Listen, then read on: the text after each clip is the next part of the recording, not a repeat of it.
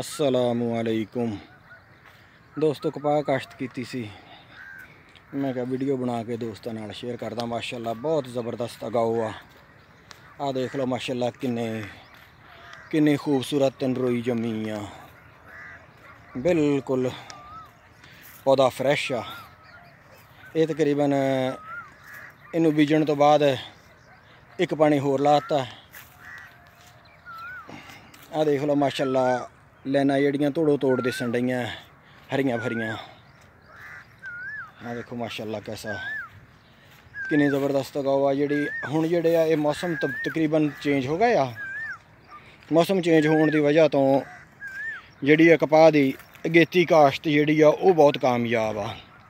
ਜਿਹੜੀ ਪਛੇਤੀ ਕਾਸ਼ਤ ਆ, ਉਹਦੇ ਵਿੱਚ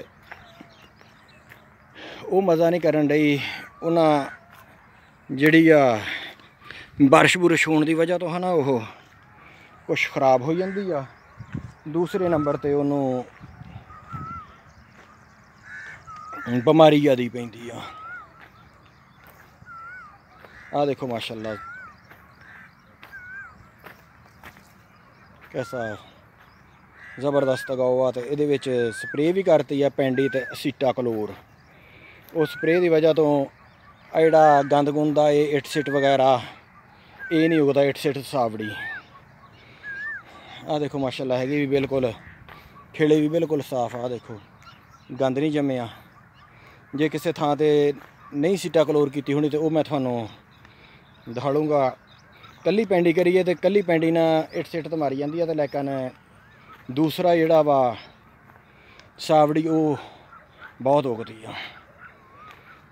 ਆ ਦੇਖੋ ਨਾ ਮਾਸ਼ਾਅੱਲਾ ਨਾ ਇਹਦੇ ਵਿੱਚ ਇੱਟ ਸਿੱਟਾ ਤਾਂ ਨਾ ਸਾਵੜੀ ਕੱਲਾ ਮੋਥਾ ਮਾੜਾ ਮੋਟਾ ਹੈਗਾ ਵਾ।